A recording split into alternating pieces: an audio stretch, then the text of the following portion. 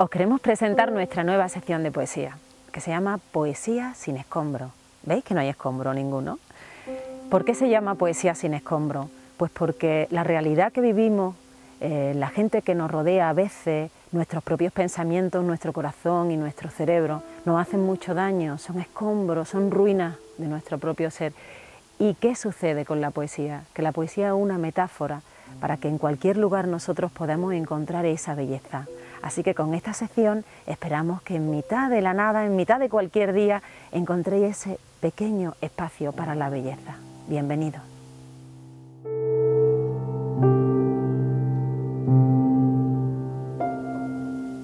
Este poema eh, me gusta mucho leérselo a las mujeres porque habla de, lo que nosotros sentimos cuando amamos y, y quizás de lo sencillo y de lo complejo que nos queda después. Tampoco fue una noche loca, aunque sus planetas bajo mis encajes fueran una locura. Ni sus pulgares fueron los más expertos, aunque me traspasaran de humedad hasta los huesos. No, no fue una de esas noches de cine erótico.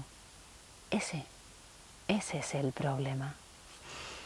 Fue una noche de ternura abierta en canal y acumulada durante muchos días de llamada, de caricias de colegiala, de primera vez y de acercarse con miedo y pudor para retirarse con delirio y ardor. Y beso. Besos de apretar los labios hasta sangrar de hinchado, como cuando eres joven y piensas que hacer el amor es solo eso, besarse.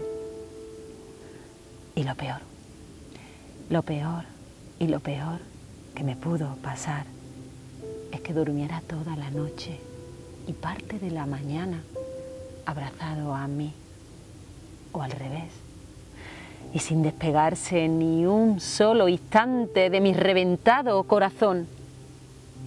Y digo yo, y digo yo, ¿qué voy a hacer ahora con tanto amor?